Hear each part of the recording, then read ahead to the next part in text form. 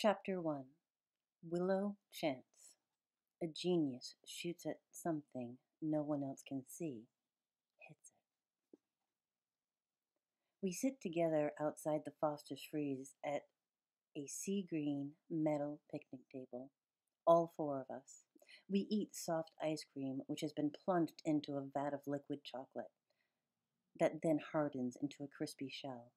I don't tell anyone what makes this work is wax, or, to be more accurate, edible, food grade paraffin wax. As the chocolate cools, it holds the vanilla goodness prisoner. Our job is to set it free. Ordinarily, I don't even eat ice cream cones. And if I do, I obsess in such a precise way as to prevent even a drop of disorder. But not today. I'm in a public place. I'm not even spying and my ice cream cone is a big, drippy mess. I'm right now someone that other people might find interesting to observe. Why? Well, first of all, I'm speaking Vietnamese, which is not my native tongue. I really like that expression because, in general, I think people don't give this contracting muscle credit for how much work it does. So, thank you, tongue. Sitting here, shaded by the afternoon sun, I'm using my Vietnamese whenever I can, which turns out to be often. I'm talking to my new friend Mai, but even her always surly and scary because he's older big brother, Quang Ha, says a few words to me in their now only semi secret language. Dell Duke, who brought us here in his car, is quiet. He does not speak Vietnamese. I do not like to exclude people. I'm the one who is always excluded, so I know how that feels. But I'm okay with Mr. Duke being an observer. He's a school counselor, and listening is a big part of counseling, or at least it should be. Mai does the lion's share of speaking and eating. I give her my cone once I've had enough.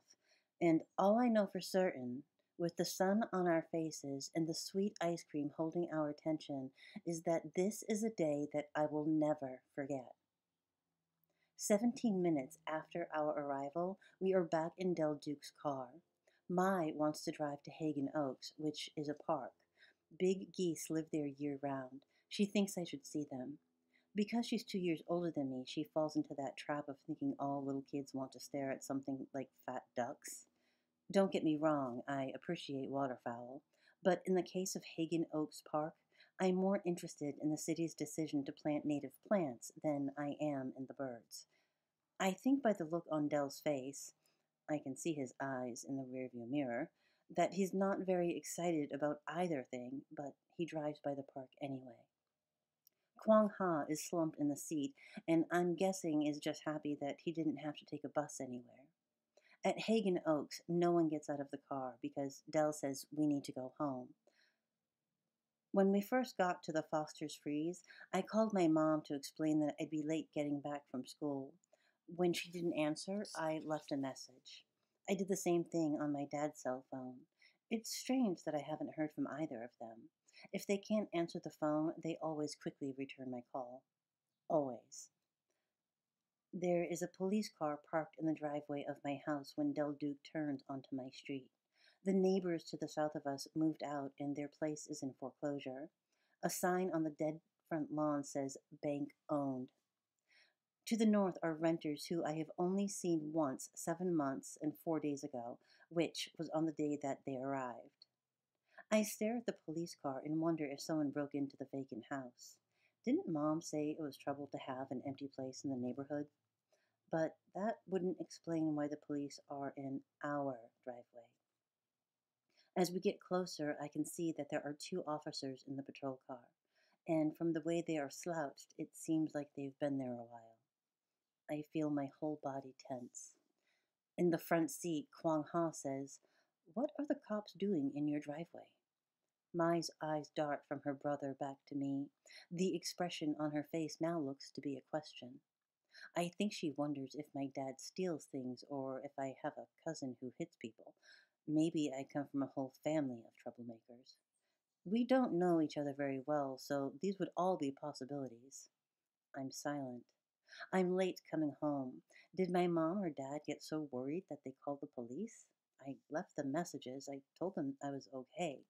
I can't believe that they would do such a thing. Dell Duke doesn't even have the car completely stopped before I open the door, which is, of course, dangerous. I get out and head toward my house, not even bothering with my red rolling luggage that's packed with my schoolwork. I've taken only two steps into the driveway before the door opens on the patrol car and a female officer appears. The woman has a thick ponytail of orange colored hair. She doesn't say hello. She just lowers her sunglasses and says, Do you know Roberta and James Chance? I try to answer, but my voice won't come out any louder than a whisper. I want to add, but it's Jimmy Chance. No one calls my dad James. But I can't. The officer fumbles with her sunglasses. Even though she is dressed the part, the woman seems to be losing all her authority. She mumbles, Okay, and uh, you are? I swallow, but my mouth is suddenly dry and I feel a lump form in my throat. I'm their daughter. Dell Duke is out of the car now, and he has my luggage with him, and he starts across the sidewalk. Mai is right at his heels. Quang Ha stays put. The second officer, a younger man, then comes around and stands next to his partner, but neither of them speaks. Just silence. Horrible silence. And then the two police officers turn their attention to Dell. They both look anxious. The female officer manages to say, And where do you fit in? Dell clears his throat. He suddenly looks like he's sweating from every gland in his body. He is barely able to speak. I'm Dell D- D- Duke. I work as a c- c- counselor for the school district. I see these two of these k- kids for counseling. I'm just d- driving them home. I can see that both officers are instantly relieved. The female officer begins nodding, showing support and almost enthusiasm as she says, A counselor. So she heard. I find enough of a voice to ask, Heard what? But neither of the police will look at me. They are all about Dell now. Can we have a word with you, sir? I watch Dell's sweaty, wet hand release from the black vinyl luggage handle, and he follows the officers as they move away from me, away from the patrol car, and out to the still hot pavement of the street. Standing there, they huddle together with their backs turned so that as I watch, they look, lit by the low end of the day sun, like an evil three headed monster. And that's what they are, because their voices, while muffled, are still capable of being understood. I clearly hear hmm. four words There's been an accident. And after that, in whispers, comes the news that the two people I love most in the world are gone forever. No. No. No. No. No. No. No. I need to rewind. I want to go back. Will anyone go with me?